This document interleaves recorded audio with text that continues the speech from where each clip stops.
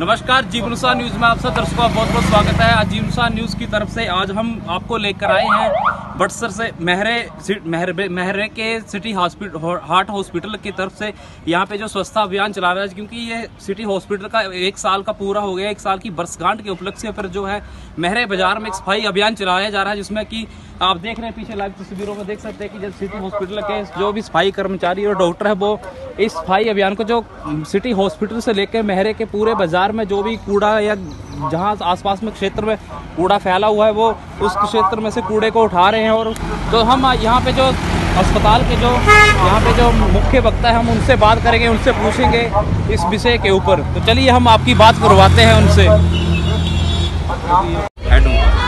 तो चलिए हम आपकी बात करवाते हैं सिटी हॉस्पिटल के डायरेक्टर क्या नाम है सर देशराज जरियाल देशराज जरियाल जी से।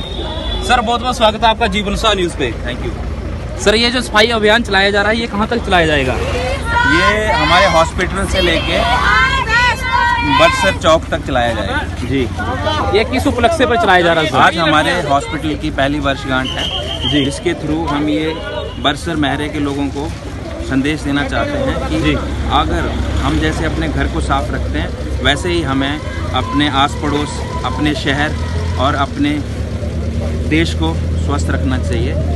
सफ़ाई मीन स्वच्छता जी। जिस अगर जैसे हम अपने घर पे जितना हम घर को साफ़ रखेंगे उतना हाँ ही हम बीमारियों से बचे रह सकते हैं। उसी तरह जितना अगर हम अपने शहर को स्वच्छ रखते हैं तो उतने ही हमारे शहर से जो जो गंदगी की वजह से बीमारियाँ पनपती हैं वो नहीं पनपेंगी जी इस उपलक्ष्य के ऊपर आप लोगों को क्या मैसेज देना चाहेंगे? मैं मैसेज आपको क्रिस्टल क्लियर जैसे मैं पहले दे रहा था जी। स्वच्छता का हमारे जीवन में बहुत बड़ा महत्व है। जी। और क्योंकि एज ए संस्था एक हॉस्पिटल हमारे पास बहुत सारे मरीज़ आते हैं जी। जिसमें कि ऐसा है बीमारियाँ हर ऐसा मैं ये नहीं कह रहा हूँ कि हर बीमारी गंदगी से होती है बट यस ऐसी कई बीमारियाँ हैं जिसका कारण गंदगी है।